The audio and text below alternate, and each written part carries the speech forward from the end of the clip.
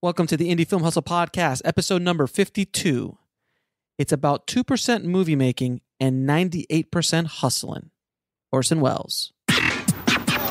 Broadcasting from the back alley in Hollywood, it's the Indie Film Hustle Podcast, where we show you how to survive and thrive as an indie filmmaker in the jungles of the film biz. And here's your host, Alex Ferrari. Welcome, my indie film hustlers, to another episode of the Indie Film Hustle Podcast. I am your humble host, Alex Ferrari. Don't forget to head over to freefilmbook.com. That's freefilmbook.com to download your free film audiobooks from Audible. And today's show is sponsored by Twitter Hacks how to get 10,000 true fans in 10 weeks. If you guys are interested in trying to build up an audience and build up a social media presence, this is a big, great beginning course to teach you how to really leverage Twitter. So head over to twitterhacks.com. That's twitterhacks.com. So I wanted to do an episode, guys, on the five lies of film distribution. These are myths, if you will, that I feel that a lot of filmmakers are sold, and I wanted to clarify it and hopefully do some good today and get some clarification on some of this stuff. So, first myth you see that distributors are calling you and emailing you because your movie is almost done or in production or about to be done and, and finished and they want to see it they want to hear it and you're like oh my god how they find out about me? I'm i'm so special. All i got to do is just send it to them and i'll get a distribution deal. Well, as I'm going to say this word a lot in this episode, wrong.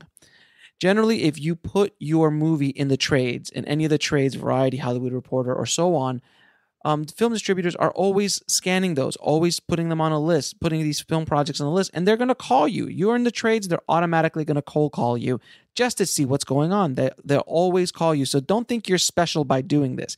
Now, one big mistake that a lot of filmmakers make is when they do get these calls and they do get these emails, they're so excited. They think that, oh my God, I'm gonna, I'm gonna make a fortune. They're gonna pay me a lot. I'm gonna just do what they say. And they ask you, hey, can you send me a copy of the movie so we can screen it? And then a lot of filmmakers will send a DVD or a Vimeo link or something like that, which is the kiss of death. You never, ever, ever want to send a distributor a DVD screener or a, a Vimeo link or something else before it has premiered in a festival or in a some sort of premiere where you've kind of unveiled this this project. No film, to my knowledge, has ever gotten theatrical distribution based off of a DVD screener or Vimeo link. So please be very careful with that myth.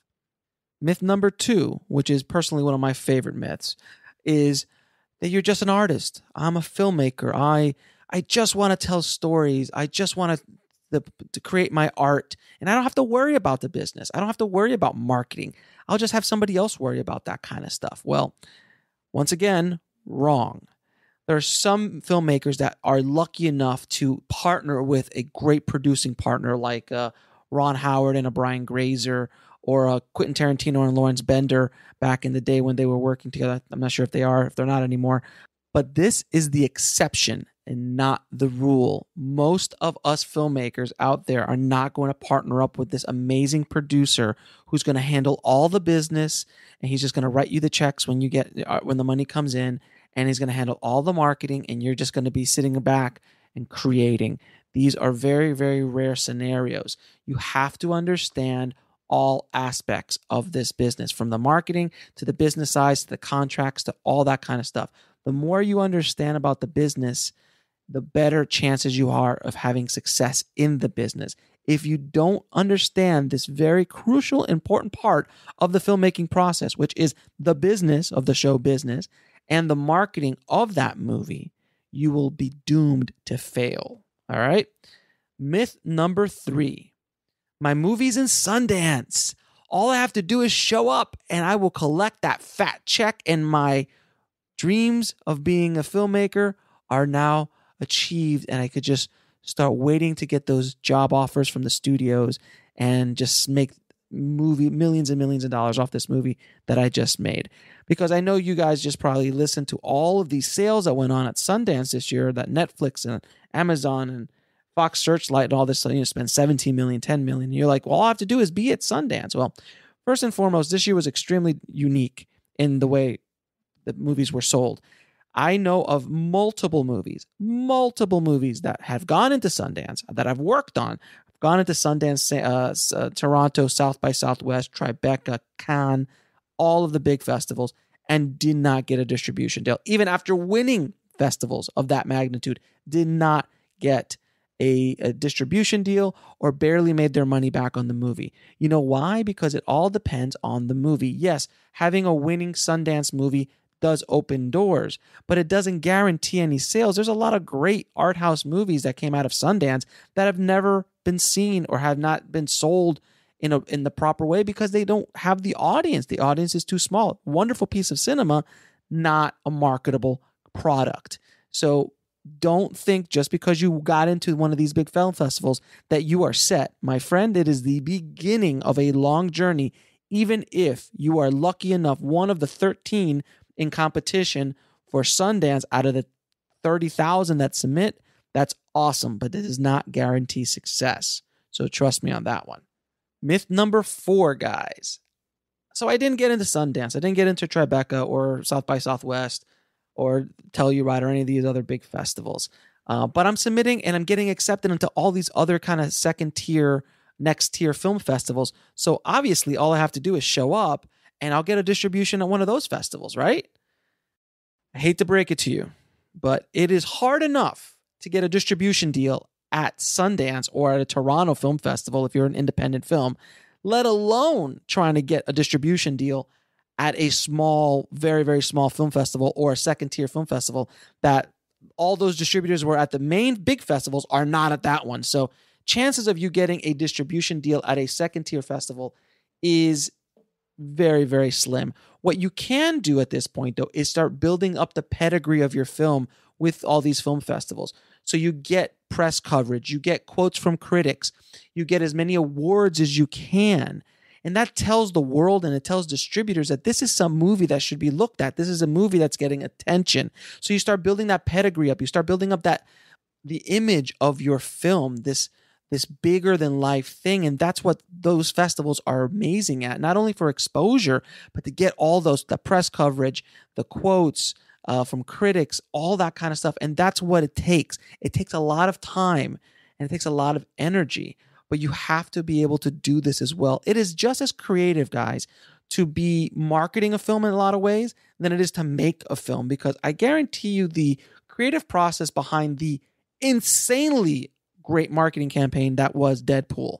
And if you guys have not heard me on my my social media uh, and tweets and Facebook, for God's sakes, if you haven't seen Deadpool, go out and see it now. It is the greatest superhero movie I've ever seen.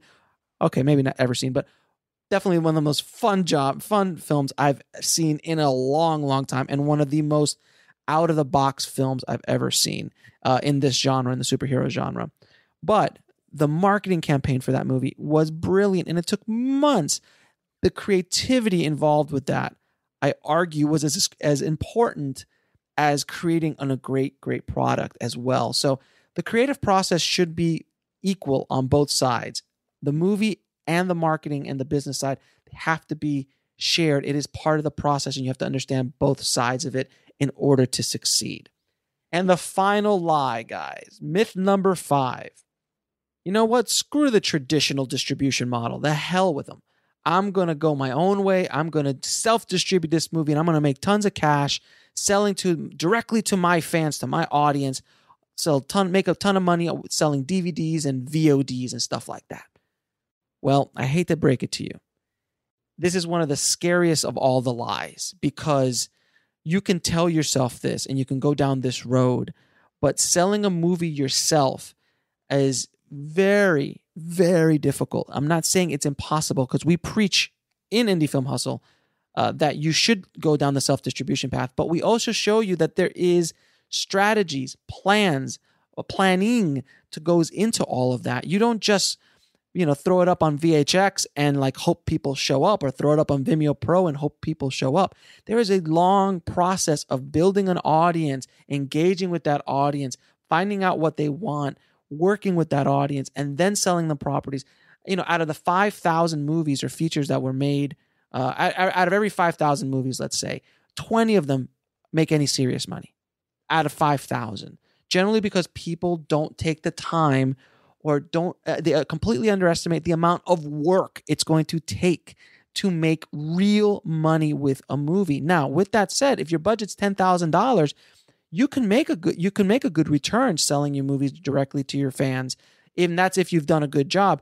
If you're and if you made a budget of a million dollars and you, you're going to be strictly on online and DVD sales by yourself, my friend, I wish you the best of luck. It hasn't happened yet. I haven't seen anyone do it yet, um, except for a few documentaries.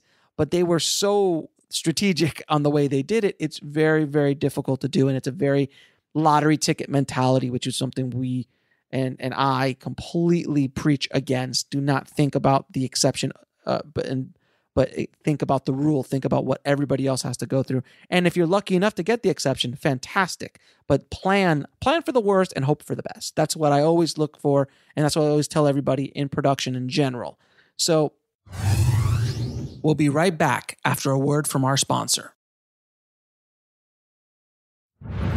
And now back to the show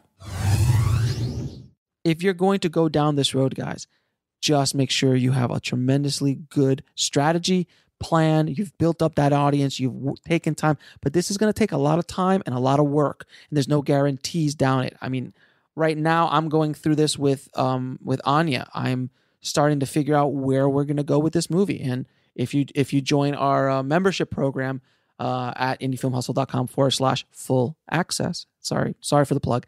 Um, we're going to be we're having these discussions right now. Me and paul are having these discussions about like okay do we want to go after uh, big names for the movie? Are we going to try to do big names for the movie? Are we going to try to go more unconventional um, ways of casting to see if we can leverage social media or self-distribute ourselves?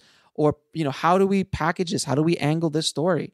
You know and how do we angle this product this movie that we're going to put together? So these are all questions that are, are are being answered as we speak right now. So um, if you join uh, indiefilmhustle.com forward slash full access, sign up for it and we will email you as soon as we're ready to launch the membership site, which will be hopefully up in the next three, four weeks or so uh, we're, as we're working things up. But all this information, all these kind of questions are answered in, uh, in that in that membership uh, course, not course, but in that membership group that we'll be able to be able to talk and have this kind of communication with. But it takes a lot of work, guys, and I'm going down this path myself right now with Anya, so it should be interesting on a side note guys i know a lot of you uh, like think of like home video is like oh no who wants to go to home video? Who wants to go to home video distributors?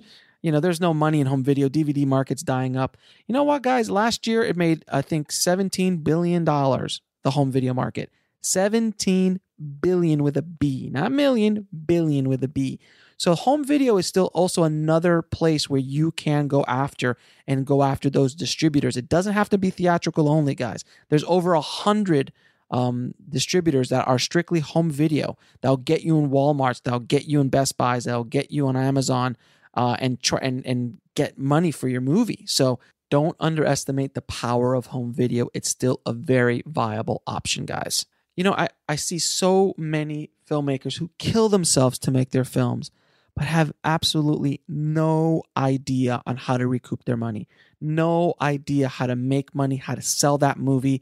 They just they just kind of throw it out there and hope for the best. And they've spent a year or two or three working on this movie, their opus, their film, and they can't figure a way out to sell it, how to make money, how to recoup it, how to actually make a living doing what they love to do. And that's why I created Indie Film Hustle. That's one of the reasons why, because it frustrates me so, so much that I see my my fellow independent filmmakers not making it, not able to sell their product, not able they spend years wasting away on a project and not understand the end game. So please, if you're making a movie, understand you have to know the marketing. You have to have a distribution plan in pre-production while you're casting. You have to understand this kind of stuff in order to be successful and sell your movie, recoup your money, and actually make money. What a shocking concept. Actually make money doing what you love to do. So it's a lot of work and it takes a lot of time. But if you're serious about trying to make it in this business, these are things that you're going to have to do. So I hope this episode was helpful for you guys. I wish I would have had this kind of conversation or understood this kind of these concepts when I was working at starting out as a filmmaker. So, and now that I'm I'm getting ready to do my first feature film, it is very in front of my head of like, how am I going to sell this movie? Who am I going to sell it to? How are we going to get it out there? So I hope this episode was helpful to you guys in that fashion. So go get them, guys. Don't forget to head over to filmmakingpodcast.com. That's filmmakingpodcast.com and leave us an honest review of the show. It helps us out a lot and really helps us get the word out on Indie Film Hustle so we can help more and more filmmakers get their movies made, sold, and rinse, repeat, rinse, repeat. So keep that hustle going, keep that dream alive, and I'll talk to you soon. Thanks for listening to the Indie Film Hustle podcast at indiefilmhustle.com. That's I N D I E F I L M H U S T L E.com.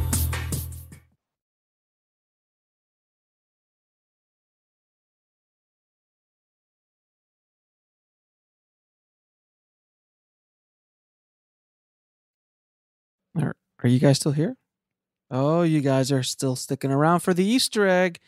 Well, as you know, and if you guys are true Indie Film Hustler fans and part of the tribe, you know that occasionally I will throw in an Easter egg on one of my podcasts. And this week's Easter egg is a coupon code for filmmaking hacks, my filmmaking course that I have up on Udemy, where I'm going to give you guys a code for 15 bucks. It retails for 300 or 297 right now, but I'm going to let it go for 15 bucks. So whoever listens to this, you've got a few weeks. I'm going to leave it up. It's going to be a little hidden gem. Anyone who hears this, actually, you know what? I'm going to leave it up. Well, I don't know if I'll leave it up forever, but I will leave it up for a while. Um, so if you hear this, uh, just go to indiefilmhustle.com forward slash FF hacks 15. That's indiefilmhustle.com forward slash FF hacks 15. Thank you guys for listening. Thank you for staying with me on this entire journey uh, and being a real true fan and listening all the way to the end. I appreciate it. And guys, do me a favor spread the word. Spread the word about the show, spread the word about the site. Anything you guys could do to help me out and get the word out on this and everything that we're doing at Indie Film Hustle, greatly, greatly appreciated. So thanks, guys. Talk to you soon.